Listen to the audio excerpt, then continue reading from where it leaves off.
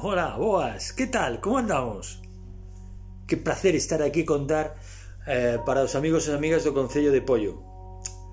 Claro, é moito mellor mmm, cando íamos contar estábamos, por exemplo, no centro Xaimeilla, ou ímos aos coles, ou a Biblio, e estamos ali todos e todas xuntos. Pero bueno, agora estamos nunha situación que é un pouco complicada. Todos e todas sabedes o que, que estou a falar, pois claro, desta epidemia do COVID que hai, todos gustaríamos máis estar xuntos, darnos apertas, darnos bicos, pero bueno, eh, que podemos facer? Bueno, pois imos contar al menos esta historia, imos contala desde a miña casa, e que desde a miña casa chegue ás vosas casas. Bueno, da miña casa e da casa de Carlos que está aquí ao lado. Bueno, aquí ao lado non, está aquí ao lado da pantalla, que estou a contar o, o que vou a contar hoxe.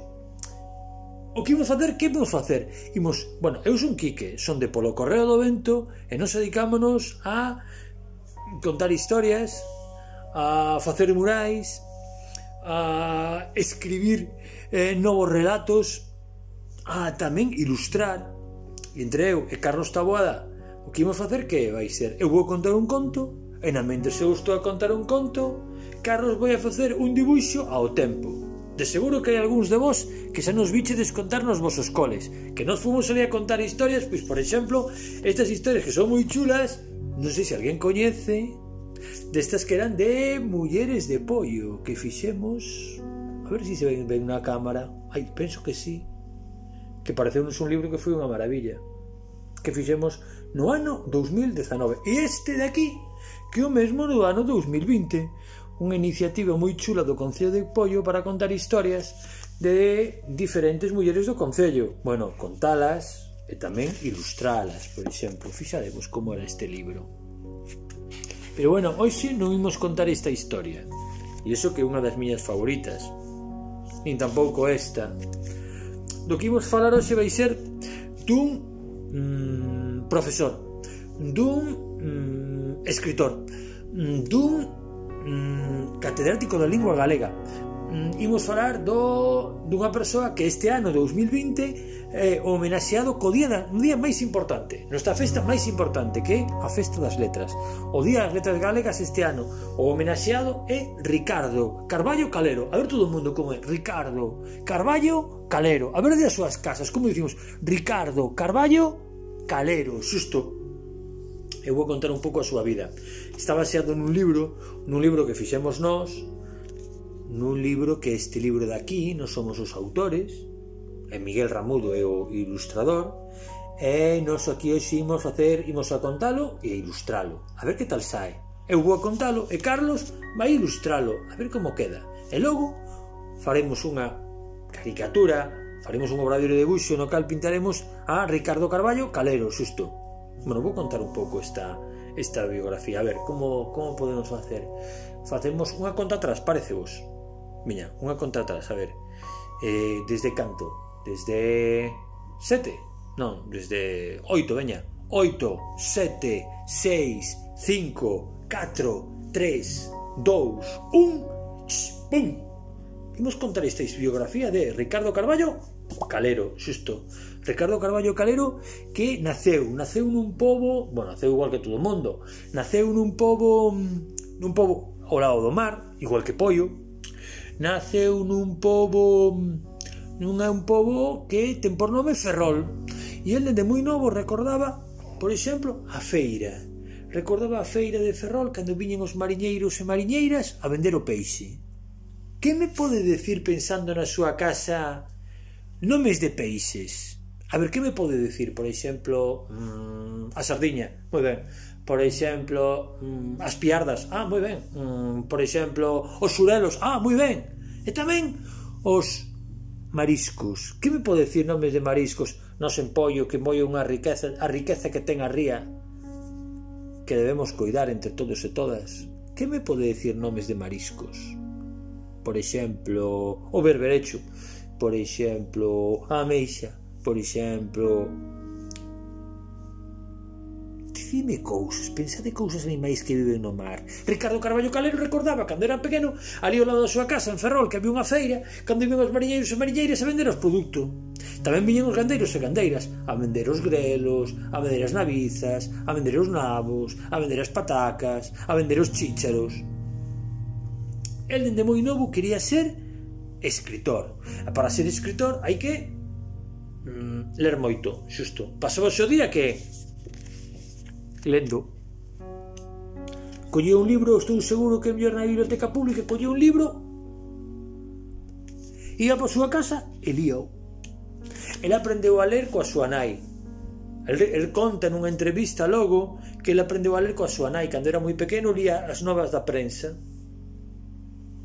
diaria, ia lendo os xornais.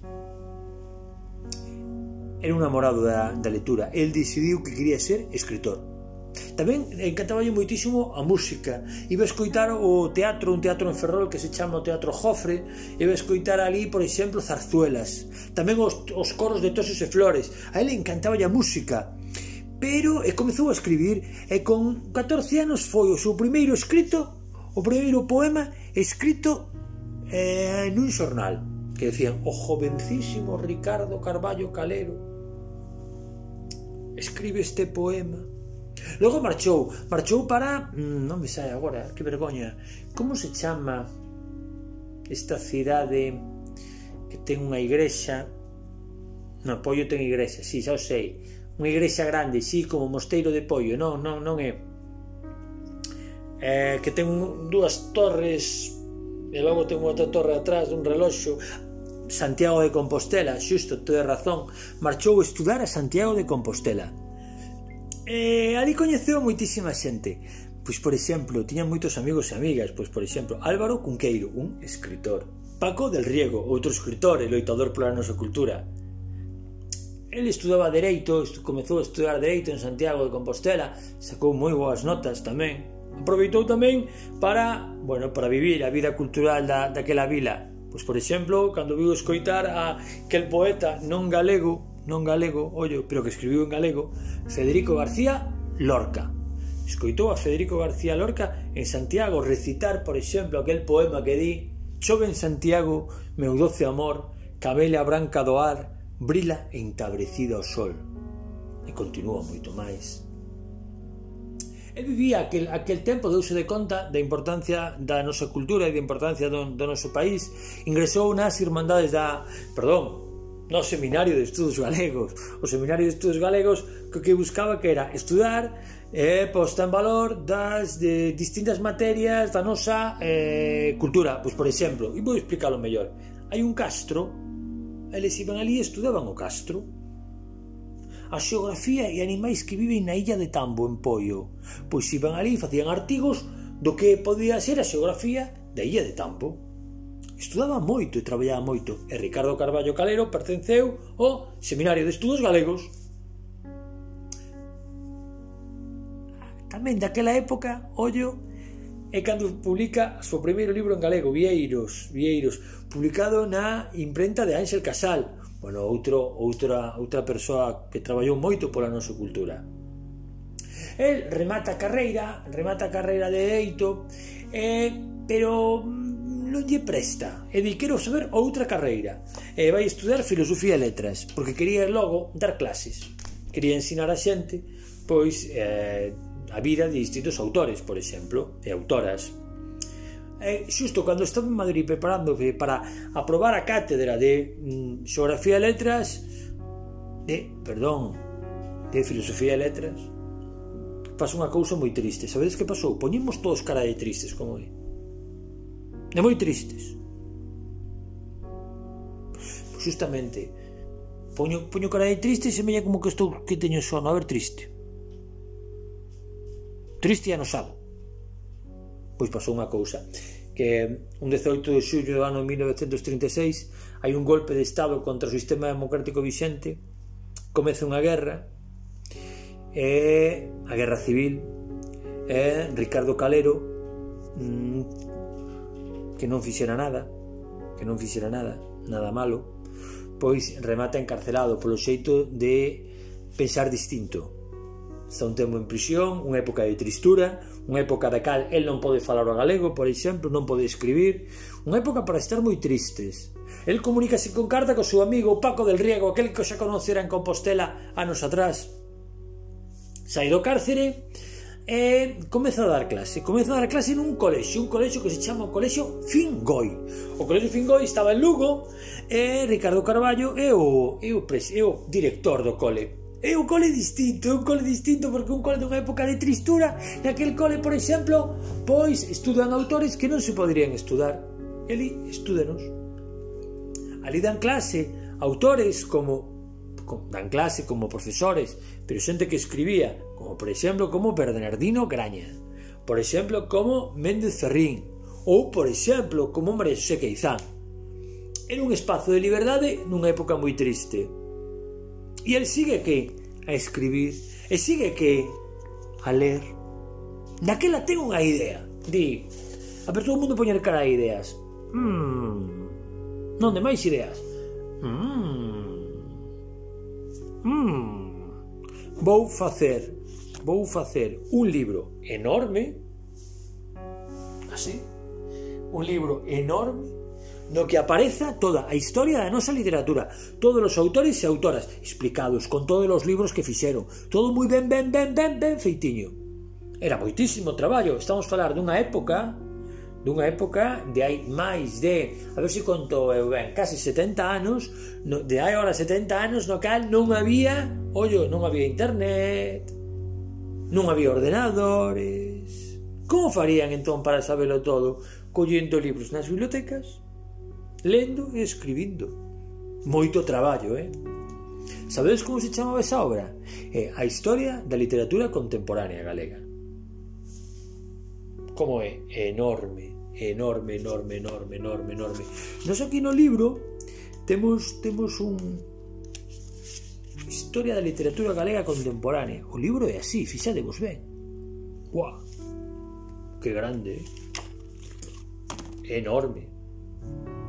E pasan máis cousas. Pasan máis cousas que na parte de dar aí comeza a entrar na Real Academia Galega. Entra como eh, membro da Real Academia Galega e fai un discurso sobre desde quen, como se chama esta escritora que non me sei agora, ai que, des, que vergoña, que mal vou, como se chama esta escritora mm, galega, Rosalía de Castro, xusto, no seu discurso de entrada, adicoulle a quen, a Rosalía de Castro, e xa pertenceu á Real Academia Galega. Tamén cambian pouco a pouco na súa vida. Por que? Porque, mira, comeza a dar clase na Universidade de Santiago de Compostela.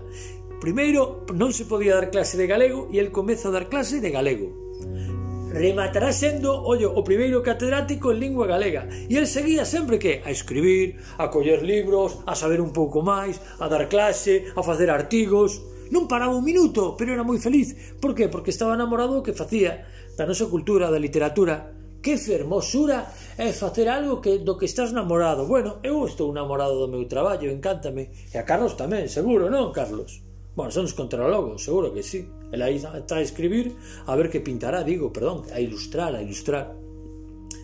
E claro, era o primeiro catedrático, recordade, foi o primeiro catedrático en lingua galega. O primeiro catedrático en lingua galega, fixadevos a importancia. Xa cando era moi maior comeceu a darlle un pouco un pouco miolo tamén a pensar as cousas. Por exemplo, eh, por que tan diferente ou por que non é diferente? Cales son as diferencias entre o galego e o portugués? Se cadra, se cadra non son non parten do mesmo pensaba Ricardo Carballo Calero. Non dicía el chamaba o portugués o galego do sul, o gallego do sul, por exemplo. El comezou a darlle unha volta, comezou a pensar que o mellor a, a escrita tiña que ser eh, similar, cando ainda non estaba normativizado, o galego do sur, o portugués, que sería a evolución natural do galego, ao do norte, que somos nós, o que falamos nós. Son anos de unha época de darlle voltas, a, de ter novas ideas, novas teorías, e tamén dunha escritura dunha obra xenial para min, que xa cando era unha, el, xa cando era moi maior. É unha obra que se chama Escorpio, recoméndola. Xa é un pouco para o público maior, a mellor para os pais de nais que están escoitando aquí este contos, que seguro que hai moita xente que está a escoitar, recoméndolo. Escorpio, de Ricardo Carballo Calero. Bueno, con isto rematamos esta primeira parte desta historia. Eu contei unha historia. Carlos fixo un debuxo, eu penso que non sei se está aquí, ou está aquí abaixo, non sei como non lo, non lo editarán o de, o debuxo para que quede, non lo montarán para que quede, para que quede chulo. Moitísimas grazas ao Concello de Pollo por eh, seguir apostando pola cultura, eh, seguir apostando por, por, por esta fase de contar de contar estas historias, de, destas biografías, destes, destes autores e, e autoras galegas. Un bico enorme. Pero non os vaiades, porque agora imos facer un obradoiro de debuxo adicado a Ricardo Carballo Calero. Un apertame grande outro bico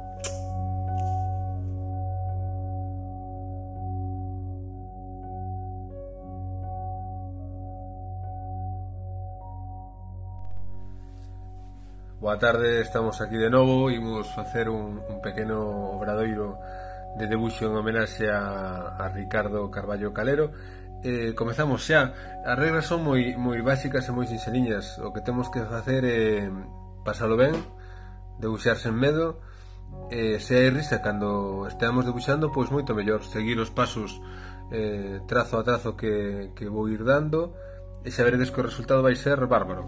Mirade, o primeiro que facemos é un borrancho así E outro o seu carón Como se fosen, que sei, dúas cascudiñas ou ou dúas lentellas.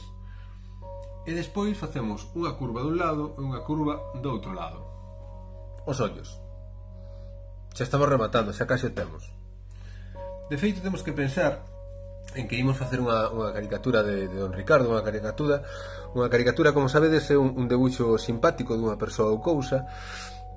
Feito de xeito que, que lembre esa persoa ou, ou esa cousa pero eh, cun ton desenfadado, eh, simpático, alegre, e sobre todo moi exagerado. É dicir, imos facer o nariz de Ricardo, pero non é que tivese exactamente así, senón que o estamos exagerando, facendo máis grande. Entón, xusto debaixo dos ollos fago unha curva para fora e unha liña que volve. Parece o bico dunha ave, pero que estamos estamos eh, exagerando, estamos facendo un debuxo caricaturesco, non? Vale, nos lembramos tamén que el tiña unha, unha verruga aquí no, no susto aquí en riba, en riba da boca. Entón, iso para nós os caricaturistas é ouro, non? Eh, entón facemos aquí un borrancho ben grande. Así. E xa o temos. Temos que pensar un pouco na época na que imos debuxar a, a Don Ricardo. E non é o mesmo, por exemplo, Don Ricardo Xove que non tiña bigote ou xa cando é, é máis vello, que xa o ten, non? Entón, imos facer, fixadevos, debaixo do nariz, unha liña así que baixa por aquí, outra liña que baixa por aquí, e unha liña que une as dúas liñas que fixemos anteriormente. O bigote. Imos facer xusto nesa época en que estaba en Compostela, unha, unha, unha foto mm, clásica del que, que cando está na, na Quintana, non? Con, con cartafol no, no brazo ímola facer pois naquela época. Facemos unhas, unhas liñas así, non? Eh, onde está o, o bigote, e xa, xa se vai aparecendo, non? Non vedes que xa xa vai tendo unha aquela a don Ricardo. Moi ben. Facemos agora unha curva aquí que ven sendo o queixo. O queixo esta parte de aquí, da baixa da boca. A boca vai quedar oculta polo polo bigote e facemos o queixo, porque tamén eh, podemos destacar da, da faciana de, de Don Ricardo. Non? Facemos outra curva aquí, que ven sendo a orella, e imos unir o nariz co queixo e o queixo co orella. Mirade, o nariz así co queixo e o queixo así co orella. Moi ben. Imos de facer eh, pois un, un sombreiro, non? Que levaba naquela época, un, como unha especie de boina, non? A gorra. Facemos unha liña así primeiro, outra liña que vais así por aquí de, arriba da orella, e facemos unha curviña aquí porque tiña un pouco de viseira. Vale. Entón agora, dende a viseira, subimos un pouco e facemos unha curva todo cara atrás, ata baixar, facendo de novo outra curva.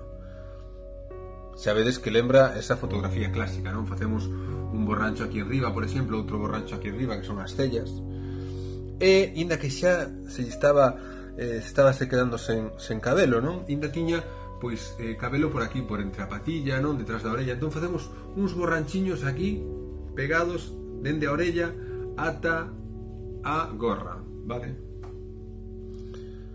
Moi ben, pechamos aquí, é perfecto. Quédanos tamén os lentes, porque daquela levaba lentes, entón imos facer, mirade, unha liña aquí na riba da orella da, da mm, do nariz, perdón, facemos unha liña así e outra liña que sai para fora. Vale? Esas dúas liñas son estes lentes que son para, para ler, non? Para ver de cerca. Entón son así, non fan unha, un, un círculo, senón que fan como un semicírculo, non? Unha metade dun círculo. Entón, dende estas liñas facemos unha curva así primeiro, e nesta igual facemos unha curva así. Quedan esas, esas, eses lentes para, para ver así de, de cerca, vale? Como xa temos orella, podemos facer unha liña ata a orella e unha liña así ata os ollos, que son as patas das, das gafas, dos lentes. Vale, xa estamos, xa estamos feitos. Xa temos a faciana de Don Ricardo. E non fixemos nada, quedou moi ben. Imos facer entón o corpo, se vos parece. A ver, marco por aquí unha liña primeiro onde eu penso que este o chan. Fago por aquí, por exemplo.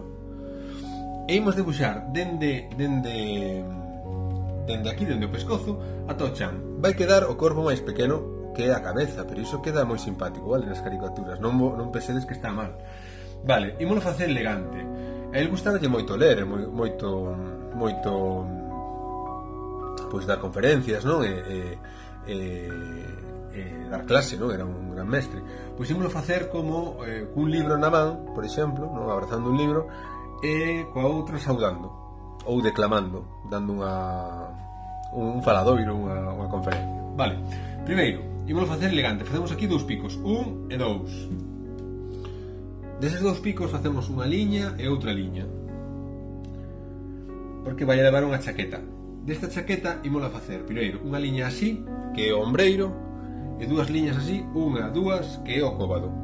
Vale. Facemos unha liña así que sube e unha liña que vai cara atrás. Xa temos un brazo. Podemos facer unha liña así que sube por aquí. E xa temos o brazo encollido. Dixemos que tiña que ter un libro, non? Pois facemos aquí primeiro cinco curvas, mirade. Unha, dúas, tres, catro, cinco curvas. A man. E detrás da man facemos un rectángulo ben grande, o que nos caiba, e damoslle, facemoslle un lombo, unhas liñas así, para que teña un libro na man. Pechamos aquí a chaqueta e imos facer a outra man, a outra man que vai ter unha man extendida, moi ben. Facemos unha liña que sae para fora. Despois unha liña que vai son chisco. Despois unha liña que vai cara atrás. Despois unha liña que vai solto chisco. E despois unha liña que pecha aquí. Está quedando bárbaro. Foi un pouco rápido, pero imos, imos a molde tamén o facemos ben. Vale, mirade. Esta man queda para o final. Imos facerlle o corpo e os pés. Facemos unha liña aquí na metade Imos facer unha liña ata o chan, xa tocando o chan. Imos facer agora outras dúas liñas que antes de chegar ao chan van a facer unha curva para un lado e para outro. Mirade, esta liña vai xa fai unha curva para un lado. Esta liña vai xa fai unha curva para outro lado. E aí temos os pés, facemos unha liña así e así para separar os pantalóns dos zapatos, e xa temos case o corpo. Quedanos tamén a parte da man facelo un pouco máis elegante, imos facer unha garabata, vale? Entón, dende aquí facemos un borranchiño así que quede como un rombo, como un diamante, vale? Porque vai ter unha garabata. E baixamos e facemos un trianguliño, moi ben, todo coa cor que teñamos. E facemos unha curva aquí, porque vai levar unha, unha garabata e un xasei, non? Moi ben, xa case está. Podemos adobiar tamén un pouco a chaqueta, pois, facendo uns botóns aquí e aquí, por exemplo, non que vaya ben, ben elegante. E agora quedanos por facer esta man. Igual que fixemos a outra, facemos cinco curvas sen medo, de acordo? Facemos así, mirade. Unha, dúas, tres, catro e cinco. Unha palma aberta. Quedou moi exagerado, quedou moi grande, non pasa nada, porque iso queda moi ben nas caricaturas. Non, non estamos facendo un debuxo seguindo as proporcións, non, non, non é un debuxo matemático senón que debuxo simpático. Facemos unha curva aquí interior, para que se vexa ben que é unha palma aberta, e velai temos o noso debuxo de Don Ricardo Carballo Calero. Podemos completalo pois facendo as lapelas da chaqueta, podemos facer, que sei, un pois que está na Carballeira de Santa Susana, que era moi preto onde vivía el de Santiago de Compostela, facerlle aquí unhas árboles detrás, facerlle un pouco de sombras, iso xa como vos queirades, non? imoslle facer tamén, que sei, pois unhas estrelas, non? Ali eh, por Santiago, imaginadevos que está por ali. E tamén, por que non, poner, ponerlle o nome de don Ricardo Carballo, así como ele escribía, con LH Calero. Moi ben.